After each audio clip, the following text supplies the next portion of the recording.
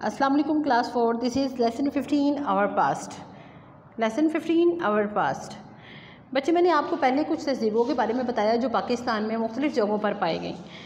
आज मैं बताऊँगी कि हमारे कौन सी मशहूर तहजीबें हैं और उनमें से जब लोगों ने रिसर्च की तो वहाँ से हमें क्या क्या मिला।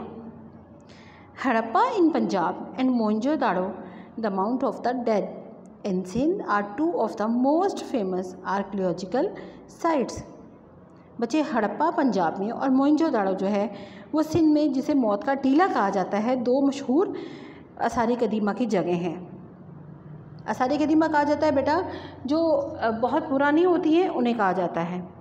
Here you can see the ruins of the great Indus valley civilisation आपको, अभी मैं कुछ पिक्स दिखाती हूँ, वहाँ पे आप देखेंगे कि ग्रेट इंडस वैली सिविलाइजेशन, बहुत बड़ी दरियाए सिंध की जो तहजीब है, आपको उनकी तबाहियाँ मतलब वो उनके कुछ र्यून्स रोमेन्स, कुछ चीज़ें नज़र आएँगी। No one is quite sure किसी को कोई यकीन नहीं। वट हैपन क्या हुआ? टू द पीपल लोगों के साथ who lived in these places जो इन जगहों पर रहते थे। But today in Mohenjodaro you can still see the remains of houses temples bath and a granary and streets with a proper drainage system लेकिन आज भी आप मोहनजोदड़ो के कुछ बाकियात देख सकते हो। उनके घर उनमें से घर, मंदिर बाथ उनके जो स्टोर होता था जहाँ पे गंदोम, सब्ज़ी वगैरह जो कुछ स्टोर किया जाता था और गलियाँ जो कि प्रॉपर ड्रेनेज सिस्टम के साथ है, यानी कि पानी के प्रॉपर सिस्टम के साथ है। ये देखें ये हड़प्पा के ड्यून्स है बेटा। यहाँ पे हड़प्पा के आपको ये बाकियात नज़र आती है। ये हड़प्पा के, बाकी सारा कुछ तबाह हो चुका हुआ है, लेकिन कुछ दीवारें हैं। इनसे अंदाज़ा लगाया जा सकता है कि ये लोग किस तरह रहते थे। ये देखें, ये बात बात का सिस्टम है जो कि मोइंजोदाड़ो में पाया गया। यहाँ पर लोग नहाने का सिस्टम था, जैसे स्विमिंग पूल बने हुए ना बेटा, ये भी कुछ उसी तरह का था। ये देखें, ये मंदिर है। जो कि मोइंजोदाड़ो में था। यहाँ पे लोग आकर पूजा करते होते थे। ये मोइंजोदाड़ो की साइट है बेटा। पहले मैंने आपको हड़प्पा के बारे में बताया और ये मोइंजोदाड़ो की, ये घरों की और गलियों के कुछ थोड़े से रिमेन्स हैं। ये देखें, ये बाथ सिस्टम था। ये ग्रैनरी है जहाँ पर स्टोर किया जाता था चीज़ों को। ये उसकी रिमेन्स हैं बेटा। ये देखें, ये उनकी स्ट्रीट्स हैं जहाँ पे प्रॉपर आपको ये ड्रेनेज के लिए एक यहाँ पे ये थोड़ा सा नाली सी नज़र आ रही है बेटा। तो ये नालियाँ बनाई गई थी ड्रेनेज सिस्टम के लिए तो ये था उनका कुछ थोड़े से रिमेन्स हाउसेज टेम्पल्स वगैरह। तो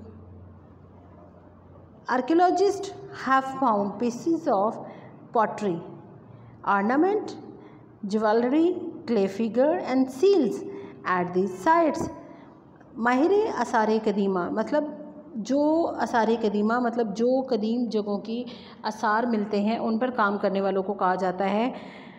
उनको कुछ बर्तनों के पीसेस मिले हैं, जेवरात मिले हैं, मट्टी के बने हुए मुजस्मे मिले हैं, मोहरें मिली हैं, इन जगहों से the seals have inscription seals पर कुछ लिखा गया है एंड सिम्बल्स और उन पर कुछ निशा, कुछ निशानात भी हैं मतलब कुछ अलामतें भी हैं ऑन डेम उन पर and historians are still trying to work out with these means what these means अभी तक जो तारीख़ के लोग हैं, कोशिश कर रहे हैं, उन पर काम कर रहे हैं तो वो जान सके कि उन पर क्या लिखा हुआ है।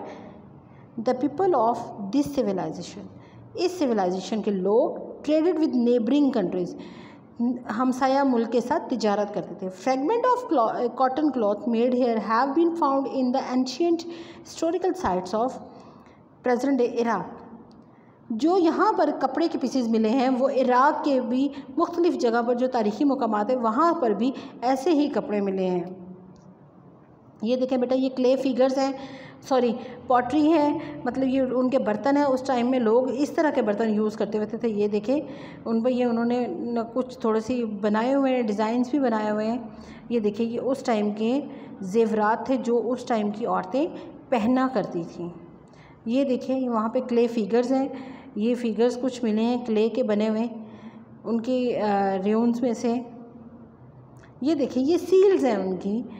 और ये कहा जा रहा है उनकी तरफ़ से कि इसका पता नहीं चल रहा कि इन पे क्या लोग कहना चाह रहे थे। ये कुछ लिखा हुआ है, कुछ अलामतें बनी हुई हैं। ये सील्स पे भी, आप देखें, ये भी वहाँ से मिली है। ये लोग इनसे तजारत करते थे। अभी तक इन सील्स पे जो है मिला हुआ, वो कोशिश करें पढ़ा जा सके कि ये क्या कहना चाहते थे। तो बच्चों, ये तो था हमारा, हमारी बुक रीडिंग इंशाल्लाह नेक्स्ट लेक्चर में मिलते हैं। अल्लाह